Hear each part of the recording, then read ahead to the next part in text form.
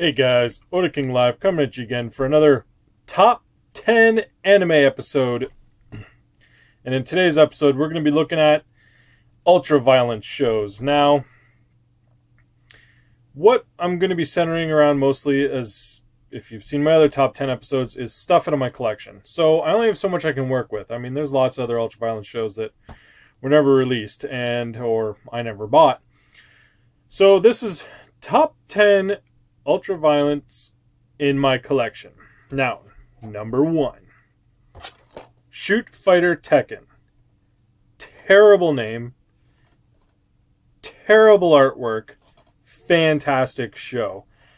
Um, I really do not understand what US Manga Corps uh, was doing with this because the original name of this is like High School Fighter or something like that. It's um, it's extremely different. They were going for some sort of like Tekken, Street Fighter, video game knockoff nonsense. I don't know. It's very in the line of Baki the Grappler, that it's just a really brutal martial arts show. Uh, I believe it was a three disc set. Check it out. I know it looks horrible and it sounds horrible. It won't disappoint you. Next, as I just talked about, Baki the Grappler. Uh, the Grappler is another hardcore martial arts show, um, especially the original OVA. It involved, you know, fighters that would, you know, dive into your skin and rip your veins out so that you couldn't, um, you know, use your arm or you couldn't see. Like, it was very violent. And um, this was the, you know, the TV series that really didn't disappoint still. Extremely violent. Uh, I believe it was a 12 disc set. And um, you're not going to be disappointed by the fleshed out, you know, full story in the TV show if you like that one shot OVA. Check it out. It's great. Uh, next up, staying in the martial arts type uh, fashion, is Fist of the North Star. Um, this is the new Fist of the North Star. I don't have the full original TV series. Um, of the 80s one. Uh, I have the movie, but still only on VHS. So, uh, Fist of the North Star, as if most of you may know already, I mean, you know, it's based on Kenshiro, who goes around uh, pretty much punching people to death. Um, his punches and kicks cause your, you know, head to explode, or pretty much wherever he touches you will explode. Ultra violent, ultra gory, classic, and there's all kinds of, you know, remakes and everything else of it. So, if you haven't already, check out any of the Fists of the North Star. They won't disappoint you either. They're good. Next up is Guyver. In fact, I believe this one even was called. Um, oh no, this is just Bio Booster of Guyver. Oh, there it is. Meet the new face of Ultra Violence. Um, unfortunately, this is the remake. Uh, the original '80s one was just like a six part, I think, and it was ultra violent. Uh, this one was remade you know, in the 2000s, and they toned down the violence. Um, I'm guessing, you know, the original was an OVA series, this was a TV series, so the ultra violence really isn't there. I was kind of disappointed in it, but it was nice to see the full story, whereas the original series never finished. So, Guyver's still pretty good. I would recommend it, but you know, get it at a a decent price. And um, it's pretty much the story of a guy that finds a you know a, an armor suit that grafts to his skin, and uh, pretty much evil organization wants it back, and they send all kinds of mutants and monsters after him, and he has to fight them off. And um, that's that's Guyver in a nutshell. Next up, uh, most of you are going to know High School of the Dead. Um, I know, I know, but it's actually a pretty good show, and it is actually pretty violent. Um, High School of the Dead is certainly a good show, and I like it, and I believe it can sit here in my ultraviolent show uh, lineup. And um, you know, you don't need to know much more. It's uh, zombies, and it's uh, some school kids uh, kicking ass to survive zombies with a little TNA. Check it out if you haven't already, although I'm pretty sure you have. Next up, uh, you may not have heard of, it's Sadamitsu the Destroyer. Um, this was a set released by Anime Works.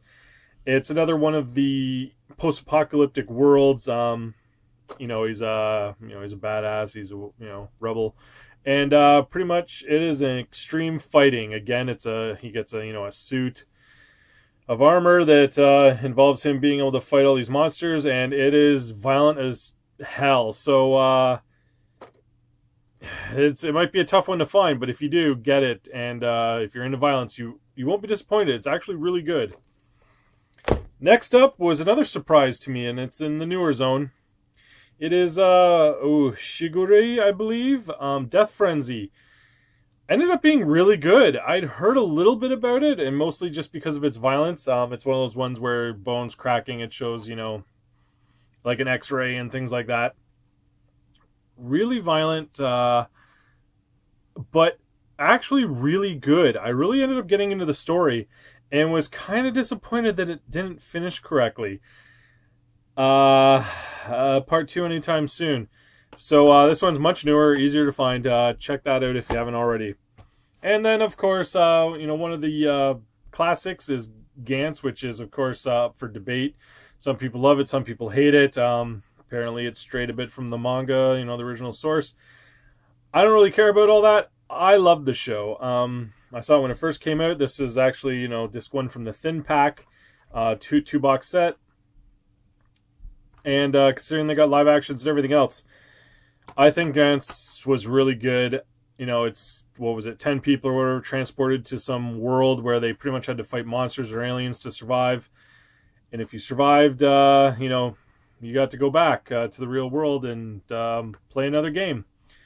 It's pretty much a death games show, and um, the violence is there, the ultra is there.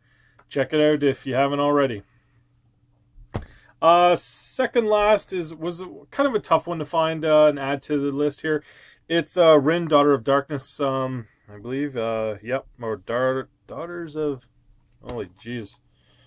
Daughters a Mnemosyne or whatever. I can't remember the name of it exactly. It's been a while since I've watched it. Um, ended up being another surprise. I didn't really know much of it outside of going off the uh, cover that looks pretty cool. So it's pretty much it was uh, based on one of these girls, I believe the that couldn't die, and uh, some angel guy wants to just torture her for eternity. So you know they're always killing her and torturing her, and it's pretty dark. And um, it was a surprise one to me. So if you're into your violence and you're into uh, a little bit of darkness and uh, intrigue, uh, check this one out. And once again, this is a newer, I believe, Funimation. Yeah, Funimation show. Easier to find. It's only like $20. Check it out. And then last, of course, is the Big Daddy classic of them all, Berserk. Um, can't do ultra violence without Berserk being mentioned. It uh, then there's the three, you know, movie remake or whatever that came out still pretty violent, but I believe if you want the original, you got to go to this one. Um, you know, it wasn't uh, wasn't held back. No, of course, if you want to really go check out the manga that goes way, way, way further into the show. But um, if you want your violence and you want the you want it medieval, um, you gotta check out Berserk. I mean, you know, needs little explanation. Guts the Black Swordsman. I mean, living his life, chopping up demons that are after him and uh, pretty much anything that gets in his way. You know, with uh, Casca, who uh, had an unfortunate time there. And um, either way, so that's my top 10 ultra violent uh, shows. Leave a like if you uh, liked any of these shows, and uh, leave a comment below if I missed any, especially retail ones, because if uh, if it's out, uh, I may want to buy it. So uh, I'll see you next time for another top 10. Later, Gator.